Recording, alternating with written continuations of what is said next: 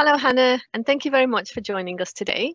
How has women lawyers and mothers provided support and guidance to women entering and working in the legal profession? I think there's a couple of ways that spring to mind specifically. And the first one is that there's a lot of women who, before they arrive in the profession, have started to hear that it's a very uh, difficult profession to have a family in. And I think the fact that our group exists and they can speak to and hear from more experienced lawyers who are mothers as well gives them a sense of reassurance that it absolutely is possible for them.